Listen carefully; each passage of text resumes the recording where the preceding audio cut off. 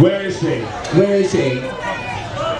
Lady, this wire, this microphone is wireless. I have been on cops. I will chase you down, tap you to the floor, and suffocate you with my penis. Did you not see how she walked around the pool today? She's a good walker. You know what? If she doesn't want to do it, then I'm going to choose contestant number.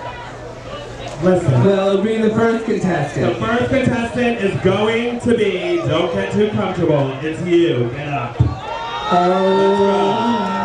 You are beautiful. Head down there to Oh, the Glen. who is truly wearing peach coral? Come on over. Oh, you're excited about this.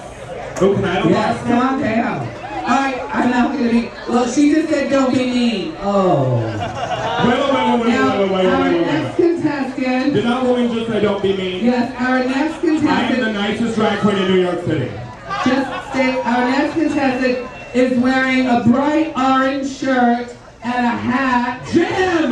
Jim! Jim! Jim! Jim! Jim, you Jim. bastard!